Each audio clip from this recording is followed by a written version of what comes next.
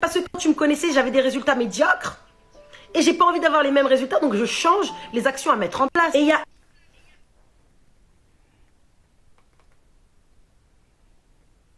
Qu'est-ce qui s'est passé même? Je comprends pas.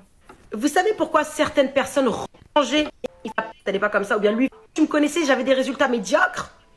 Et j'ai pas envie d'avoir les mêmes résultats, donc je change les actions à mettre en place. Et il y a énormément de personnes qui ont peur du changement parce qu'elles ont l'impression qu'elles doivent rester fidèles à l'image qu'elles ont